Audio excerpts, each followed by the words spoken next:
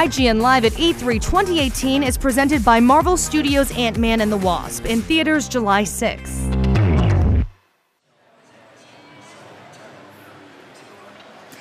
Welcome back, everybody. IGN Live at E3 2018. I'm Damon Hatfield here with our Nintendo editor, Philip Mewson, and we are joined once again by Daniel from Nintendo. Thank you. To take a look at Super Mario Party. Yes. It was a really nice surprise during uh, the Nintendo briefing yesterday. No, it was great to see that one be announced. That people were really excited. Yeah. Um, it's going back to its original form, back to the original days of where you actually move as individual characters, so it's not a vehicle together. So now you can all move separately, which I'm, I'm sure people are really excited to see going back to that old format. Yeah. Uh, so we'll be going that, and there's a lot of little nuanced changes, taking advantage of the Joy-Con controller as well to play in different ways. You got some footage showing on there. That's actually Yeah, we're showing how you get allies. Yeah, we got a couple uh, Nintendo representatives playing this live for us right now. Yes. Cool. Uh, so what game board is this one right here?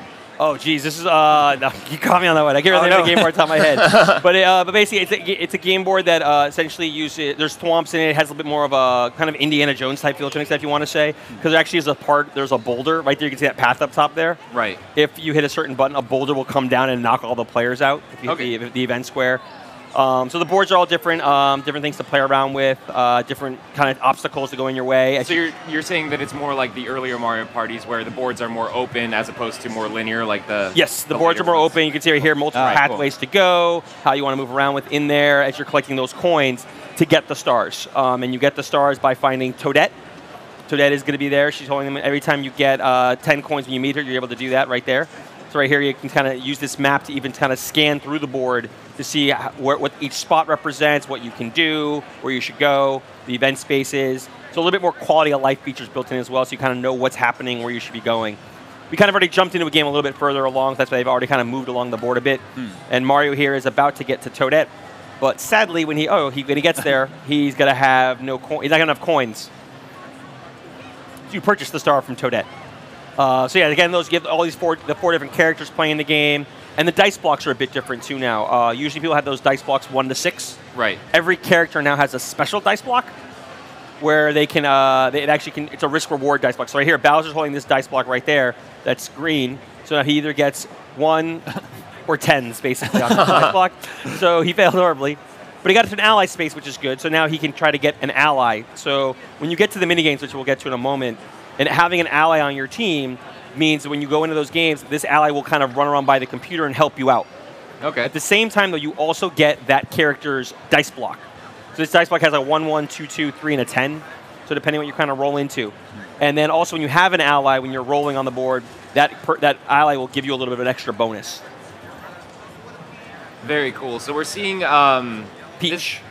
Peach right now um, using her dice, and now Yeah. every character has their own dice. So They have the standard 1 to 6 die, and then each character has its own special custom dice, dice block right. Okay. that they're able to use. And they're all different. Like Donkey Kong's is like either get like zeros or tens.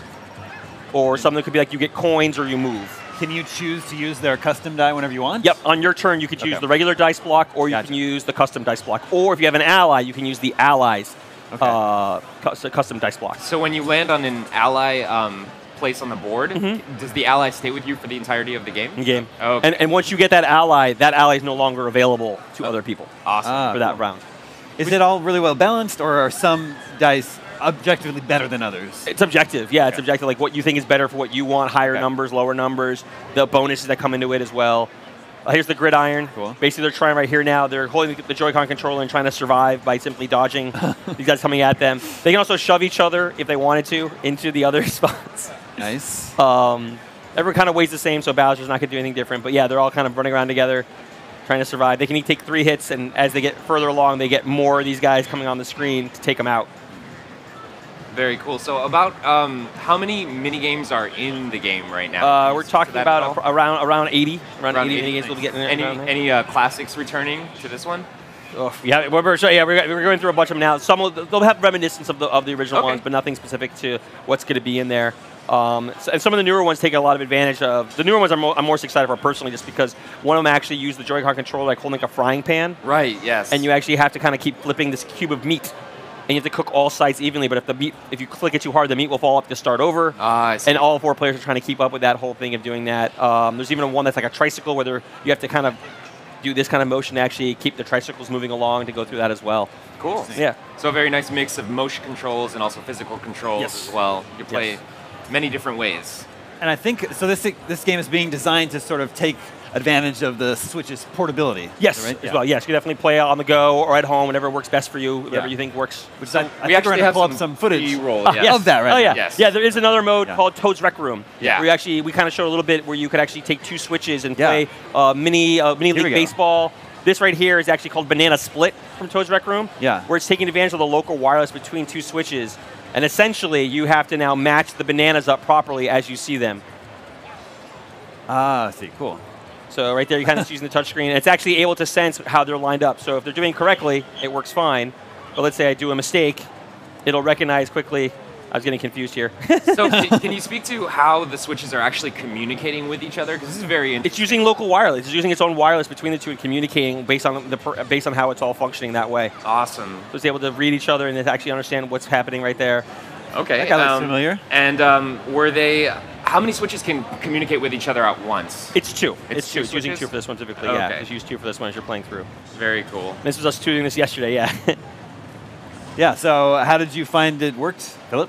Um, yeah, I mean, it was a seamless, seamless uh, experience. Honestly, like I didn't have any issues with it whatsoever. This is the banana mini game, right? Banana split. Banana, Banana split. split. yes, yes. Um, and it's obviously got a Donkey Kong theme to it. Yes. Yeah, which is very cool. Um, And you had the record, if I remember correctly. You actually got the fastest time. out of all yeah, of us. 30 seconds. Yeah, it You have the world record.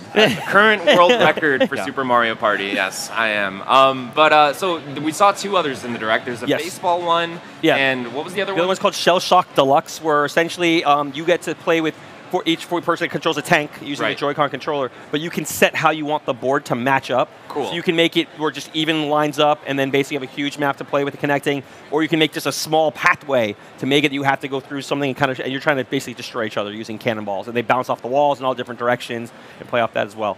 Very cool. Um, so far we've talked about there's Banana Split, uh, Mini League Baseball, and Shell Shock Deluxe are the three we've talked about so far. Okay. Uh, one thing that I've been dying to ask you. Um, so we saw that you know obviously two switches are communicating with each other.